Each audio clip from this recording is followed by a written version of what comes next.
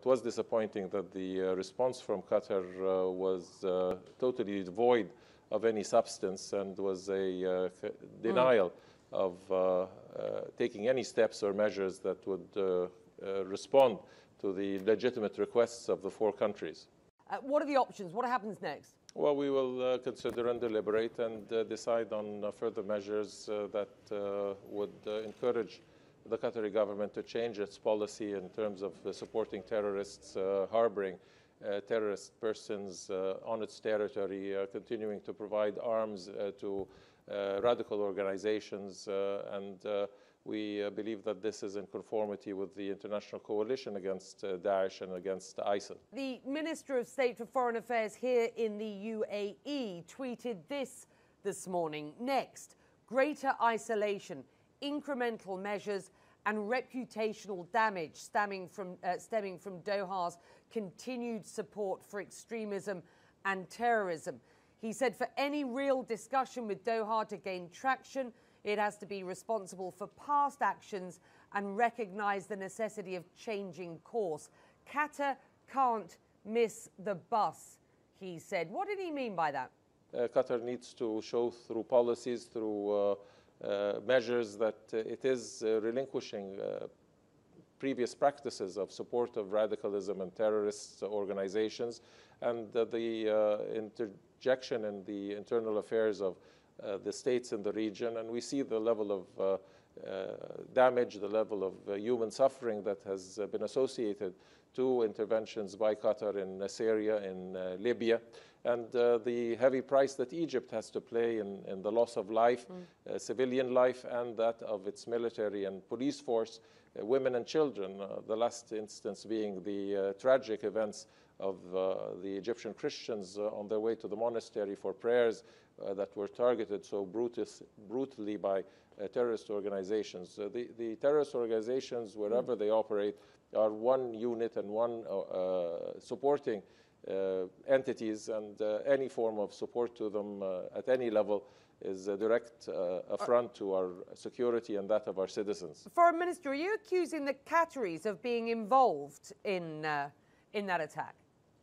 We are accusing the Qataris of supporting radical organizations and terrorist organizations, and we've always indicated that uh, a true response to terrorism must be comprehensive. We cannot deal with uh, one organization and uh, uh neglect the other.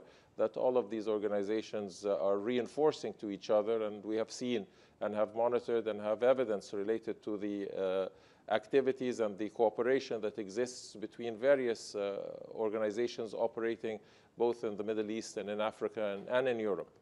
Is the group uh, accusing them of um, supporting extremism and terrorism, the group that you belong to, prepared to share that intelligence with the Qataris and with the rest of the world?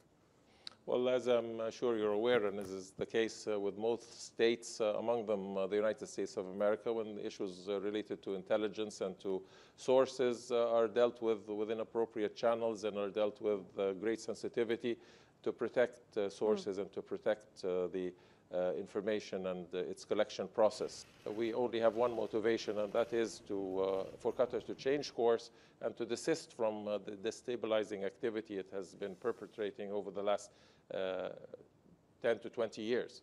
President Trump spoke with the Egyptian president on Tuesday and called on all parties to negotiate constructively to resolve this dispute. The sort of language coming out from both sides sounds, uh, with respect, anything but constructive at this point. What role the Americans in helping mediate this?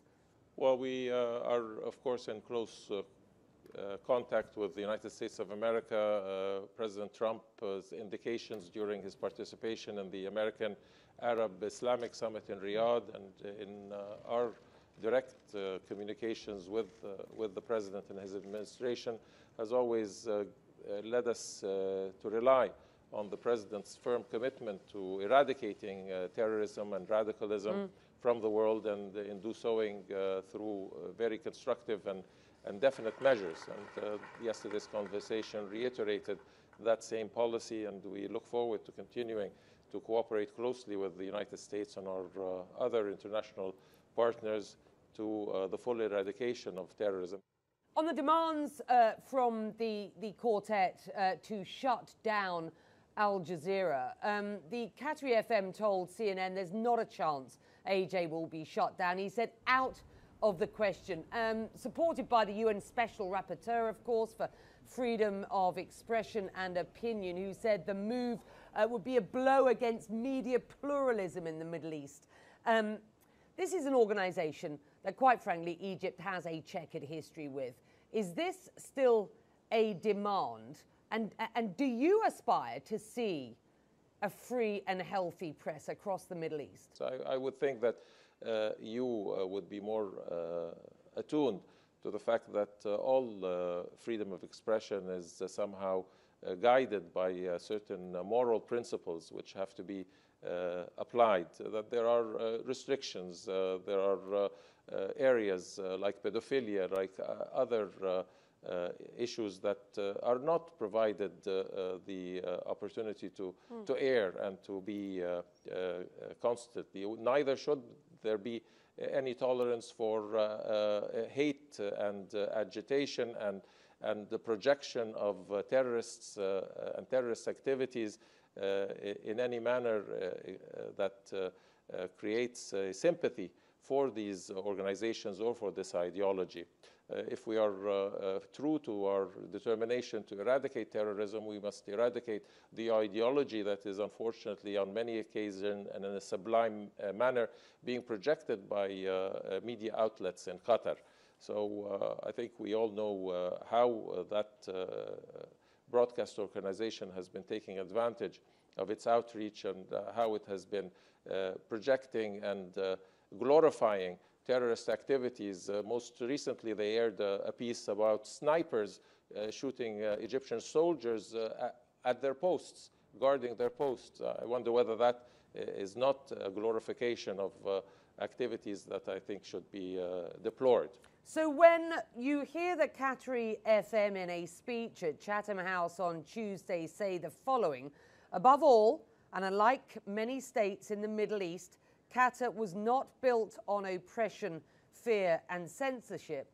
You say what? Well, I, I would uh, refer you to uh, uh, whether there have been any elections in, in Qatar, whether the uh, leadership of Qatar is elected, whether there are uh, elected institutions of governance, uh, as is in Egypt and in, in other countries. I believe we have to be realistic when we discuss issues of this and, and not try to project a false sense of the status quo.